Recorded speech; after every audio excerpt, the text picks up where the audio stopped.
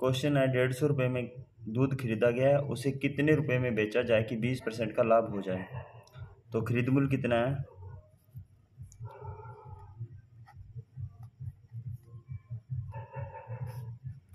डेढ़ सौ रुपये है।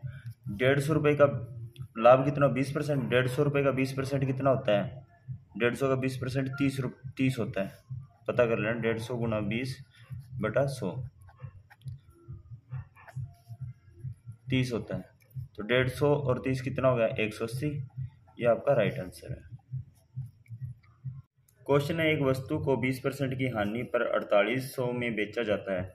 तो वस्तु का क्रय मूल्य क्या होता है? क्रय मूल्य होता है cost price C P C P का फार्मूला होता है एस पी बटा सौ प्लस प्रॉफिट या माइनस लॉस और मल्टीप्लाई हंड्रेड को सेलिंग प्राइस कितना है? अड़तालीस सौ दिया आपको। और प्रॉफिट हुआ या लॉस हानि हुआ है ना? लॉस हुआ, बीस परसेंट। तो लॉस माइनस होता है। सौ में से बीस गया कितना रहेगा अस्सी मल्टीप्लाई हंड्रेड ज़ीरो से ज़ीरो कैंसिल हो गया। एट सिक्स ज़ा फोर्टी एट तो यह कितना आ गया? छः हज़ार आपका राइट आंसर है कॉस्ट प्राइस